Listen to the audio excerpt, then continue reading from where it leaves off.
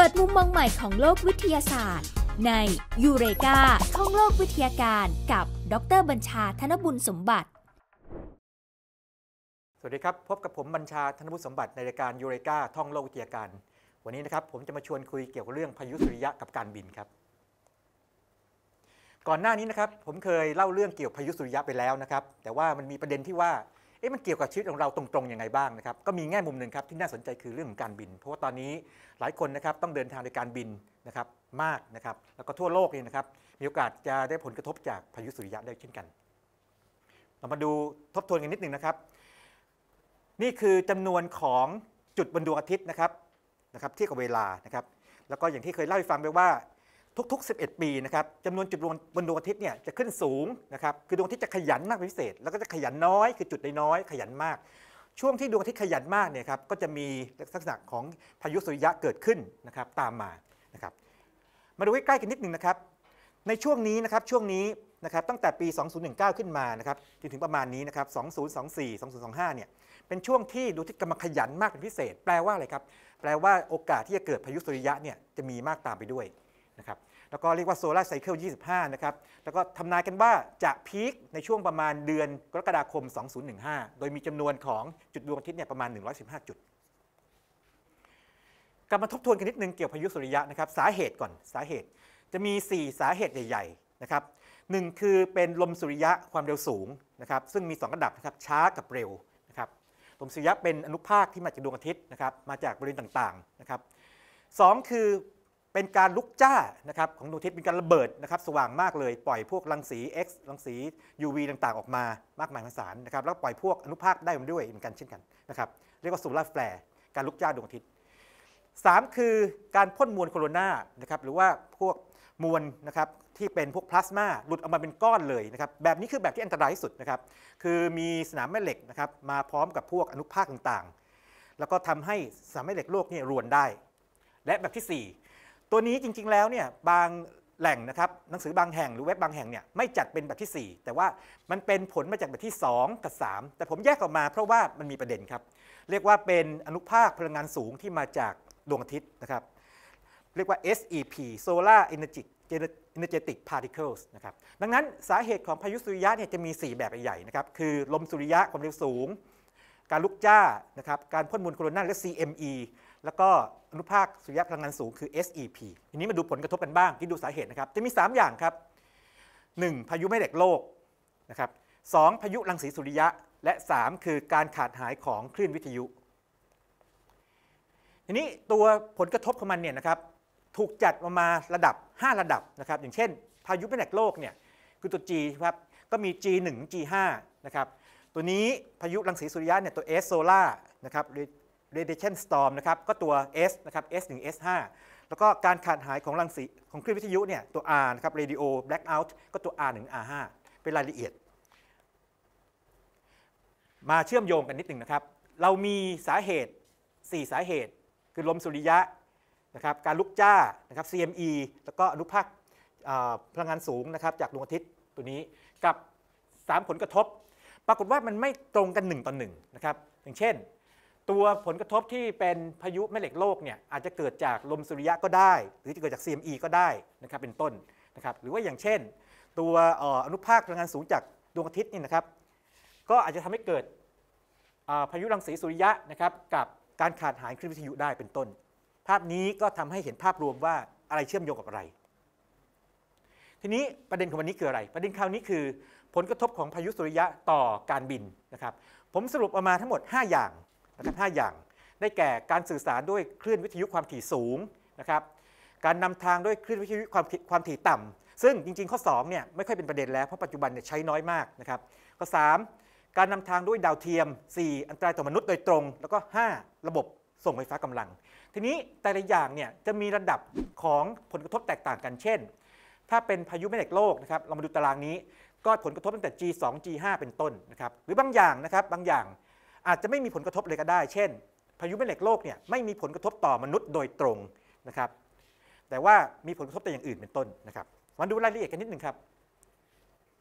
ผลกระทบต่อการสื่อสารด้วยคลื่นวิทยุความถี่สูง พายุแม่เหล็กโลกนะครับพายุแม่เหล็กโลก geomagnetic storm เนี่ยมีตั้งแต่ G2 G5 นะครับถ้าเป็น G5 เนี่ยผมนำเอาตัวสุด ๆ มาเลยนะครับ ก็คือว่าการส่งคลื่นความถี่สูงเนะครับ อาจทำไม่ได้หลายพื้นที่นานหนึ่งสองวัน ก็คือติดต่อมันไม่ได้เลย พายุรังสีสุริยะนะครับก็มีตั้งแต่ S1 S5 นะครับถ้า S5 เลยการส่งคลื่นนะครับทำไม่ได้ในทั่วโลกนะครับตัวนี้ แล้วก็การขาดหายคลื่นวิทยุก็เช่นกันถ้า R1 R5 เนี่ยการส่งคลื่นก็ทำไม่ได้ในฝั่งที่หันหน้าเข้าหาดวงอาทิตย์นะครับก็คือฝั่งกลางวันนั่นเอง แผนภาพนี้ก็ทำให้เห็นถึงการขาดหายคลื่นวิทยุนะครับ การนำทางด้วยคลื่นวิทยุความถี่ต่ำจริงๆ ตรงนี้อย่างที่บอกไม่เป็นประเด็นมากเพราะว่าปัจจุบันเนี่ยใช้น้อยมากนะครับใช้เฉพาะเป็นระบบ backup หรือสำรองนะครับหรือว่าระบบเฉพาะบางอย่างเท่านั้น แต่ว่านำมารวมด้วยเพราะว่าต้องการให้มีความสมบูรณ์นะครับผลกระทบก็มีพายุแม่เหล็กโลกนะครับกับการขาดหายของคลื่นวิทยุนี่การนำทางด้วยดาวเทียมตัวนี้สำคัญมากนะครับเพราะปัจจุบันเราใช้ดาวเทียมเยอะใช่ไหมครับพายุแม่เหล็กโลกเนี่ยระดับของมันก็คือตั้งแต่ G3 G5 นะครับ G5 เนี่ยส่งผล กระทบนานหลายวันเลย แล้วก็พายุรังสีสุริยะเนี่ย S2 S5 เนี่ยถ้าเป็น S5 ปั๊บอุปกรณ์ต่างๆนะครับมันทำให้อนุภาคทำให้รังสีอุปกรณ์เนี่ยเสียหายได้นะครับแผงโซลาร์เซลล์หน่วยความจำต่างๆ เสียหายจนใช้การไม่ได้นะครับและมีการขาดหายขึ้นวิทยุ R4 R5 นะครับเกิดขัดข้องข้อผิดพลาดนะครับในการระบุตำแหน่งในฝั่งที่โลกหันหน้าเข้าหาดวงอาทิตย์ ทีนี้อันตรายต่อมนุษย์เป็นไงบ้างนะครับถ้าเป็นพายุแม่เหล็กโลกกับการขาดหายของคลื่นวิทยุเนี่ยจะไม่มีผลอะไร แต่ถ้าพายุรังสีสุริยะชื่อจะบอกเลยครับ เป็นรังสีสุริยะคือเป็นอนุภาคนะครับ สามารถโดนคนนะครับหรือสัตว์ก็ตามเนี่ยนะครับแล้วเกิดอันตรายได้ S2 S5 ในกรณี S5 เนี่ยพวกนักบินอวกาศที่ออกนอกยาน หรือแม้แต่ผู้โดยสารเครื่องบินนะครับที่บินในลัติจูดสูงๆนะครับแล้วก็ที่ในที่สูงเนี่ยมีความเสี่ยง ซึ่งตรงนี้วงการบินเนี่ยต้องระวังนี่แผนภาพสรุปให้ดูนะครับ คราวนี้มาดูคำศัพท์ที่ฟังคล้ายๆกันนิดหนึ่งนะครับ ผมพูดถึงเรื่องของอนุภาคสุริยะพลังงานสูงไปแล้วนะครับเรียกว่า solar energetic particle หรือ SEP นะครับ SEP ตัวนี้ เกิดจากตัวการลุกจ้านะครับก็เกิดจาก CME แต่มันจะมีคำหนึ่งคล้ายๆกันครับ คือในอนุภาคสุริยะพลังงานสูงเนี่ยจำนวนมากเนี่ยเป็นโปรตอนนะครับ ดังนั้นเขาจะแยกออกมาเลยเพราะว่ามันมีความสำคัญมาก เรียกว่า solar proton event นะครับ SPE นะครับเป็นกรณีเฉพาะของ SEP อีกทีหนึ่ง ตัวนี้นะครับเวลาดูให้ดูให้ดูดีๆนะครับถ้า SPE คือนั่คือโปรตอนนะครับแต่ถ้า SEP ตัวนั้นคือ particle มีอีกอย่างหนึ่งครับเป็นรังสีคอสมิกจากภายในกาแล็กซี่นะครับทางช้างเผือกของเราเองนะครับตรงนี้น่าสนใจมากเพราะว่าตัวนี้ถ้าเกิดว่าภายใต้สภาพที่ไม่มีพายุสุริยะเนี่ยเข้ามามากเลย แต่พอมีพายุสุริยะปั๊บเนี่ยสนามแม่เหล็กเนี่ยมันจะป้องกันให้ตัวนี้เข้ามานะครับคือลดปริมาณลงไป แต่ว่ามันส่งผลกระทบต่อมนุษย์ได้เช่นกัน คราวนี้สุดท้ายนะครับผลกระทบต่อไฟฟ้ากำลังนะครับพายุแม่เหล็กโลกเนี่ยนะครับทำให้เกิดระดับของอความเสียหายได้ตั้งแต่ G1 G5 โดย G5 เนี่ยคือไฟฟ้าดับหลายพื้นที่นะครับและเสียหายเลยนะครับเป็นพายุแม่เหล็กโลกที่มีเกิดจาก CME นะครับมาดู CME กันนิดหนึ่งนะครับการเกิด CME คร่าวๆนี่เป็นโมเดลหรือแบบจำลองง่ายๆนะครับเส้นแรงแม่เหล็กนะครับปกติเป็นหมีทีนี้เนื่องจากดวงอาทิตย์หมุนใช่ไหมครับเส้นแรงแม่เหล็กบิดเบี้ยวไป บิดเบี้ยวไปมากๆนะครับเกิดลูปขึ้นมานะครับเกิดหลุดออกมานะครับเกิดหลุดออกมาเป็น CME นะครับดังคลิปนี้ครับเส้นนี้คือเส้นแรงแม่เหล็กนะครับฟ้าๆนี่คือตัวพวกพลาสมาต่างที่หลุดออกมา เดี๋ยวสังเกตขนาดของตัวพลาสมาหรือ CME เมื่อเทียบกับโลกนะครับว่าสักแค่ไหนกัน โลกเราแม้ว่าจะใหญ่นะครับแต่ว่าตัว CME เนี่ยใหญ่กว่านะครับนับสิบเท่าเลย แล้วเข้ามาถึงทำให้เด็กโลกบิดเบี้ยวนะครับ เกิดแสงออโรรานะครับในรอบที่1นะครับแล้วก็รอบที่ 2 หลังจากการที่สามแม่เหล็กเนี่ยนะครับเชื่อมต่อกันอีกครั้งหนึ่ง แต่จุดสำคัญของ CME คืออะไร CME เวลาเข้ามาปั๊บเนี่ยนะครับทำให้แม่เหล็กโลกรวนรวนเกิดการกระแสไฟฟ้าเนี่ยนะครับในระบบระบบส่งไฟฟ้ากำลังนะครับหากไฟฟ้าที่เกิดขึ้นนะถูกเหนี่ยวนำเนี่ยมาก ๆ พวกหม้อแปลงก็เสียหายได้ ไฟเคยดับแล้วนะครับเมื่อปี 1989 ไฟดับทั้งเมืองเลย นนี้นะครับภาพนี้สรุปพายุแม่เหล็กโลก นี่คือการเฝ้าระวังพายุสุริยะซึ่งเคยพูดไปแล้วนะครับ ทางซ้ายมือคือการเฝ้าระวังจากพื้นโลกนะครับ ส่วนทางขวาคือการเฝ้าระวังจากอวกาศ ภาพนี้ให้ดูแล้วเช่นกันนะครับเคยดูแล้วเช่นกัน ว่าสิ่งต่างๆ เช่นรังสี X นะครับมาถึงในเวลาประมาณสัก 8 นาทีนะครับวิทยุเช่นกันนะครับแต่ถ้าเป็นพวกพลาสมาคือ CME เนี่ยใช้เวลาประมาณสัก 2-3 วันนะครับเข้ามา ทีนี้อุตสาหกรรมการบินเนี่ยตอบสนองอย่างไรนะครับ ก็มีหน่วยงานนะครับหน่วยงานนะครับเรียกว่าองค์กรการบินพลเรือนระหว่างประเทศทำหน้าที่ประสานงานกับหน่วยงานต่างๆ ที่คอยจับตาพวกพายุสุริยะอยู่นะครับแล้วก็ประมวลผลนะครับแล้วก็ส่งข้อมูลนี้ให้กับพวกการบินทั่วโลกนะครับประวัติคร่าวๆนะครับตั้งแต่ปี 2011 นะครับสมาคมขนส่งการทางอากาศระหว่างประเทศเนี่ยก็ขอให้องค์กรการบินระหว่างประเทศ ICAO นะครับดำเนินการเขาก็ดำเนินการเรื่อยมานะครับจนถึงปัจจุบัน ทีนี้บริเวณขั้วโลกนะครับเป็นบริเวณที่สนามแม่เหล็กเนี่ยเข้าไปเยอะนะครับ ดังนั้นจะมีความเสี่ยงสูงหากว่าเที่ยวบินเนี่ยนะครับบินข้ามขั้วโลกนะครับดังนั้นในช่วงการเกิดพายุสุริยะเนี่ยจึงมีเรียกว่าข้อควรระวังมากว่า เส้นทางการบินนะครับอาจจะต้องเบี่ยงออกไปจากขั้วโลกมากๆนะครับวงสีแดงนี้